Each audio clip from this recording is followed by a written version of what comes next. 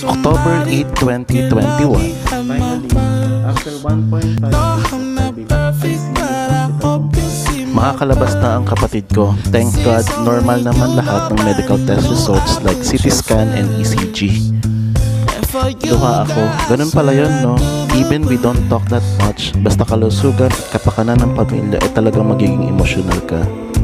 Until yan, palabas na siya ng ICU. Magkahalong emosyon ng aking nadarama. At mas lalo akong naluha at bumilis ang tibok ng aking puso nang nalaman ko na ganito pala kamahal ma ospital ngayon. Hindi naman kasi ako na-inform. After 1.5 days of ICU monitoring, ganito kamahal ang bill namin sa hospital. Literal na nilamon ako. Ang 77,000, literal na namakasap ako sa isang iglap. Yung inipon kong pambili sana ng NMAX, saka na muna.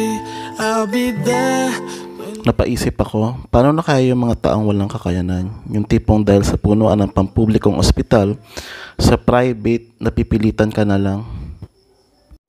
Hindi madali ang buhay ngayon, kaya sana ay may napulot kayong aral. Itong karanasan kong ito ay dadaling ko habang ako'y nabubuhay.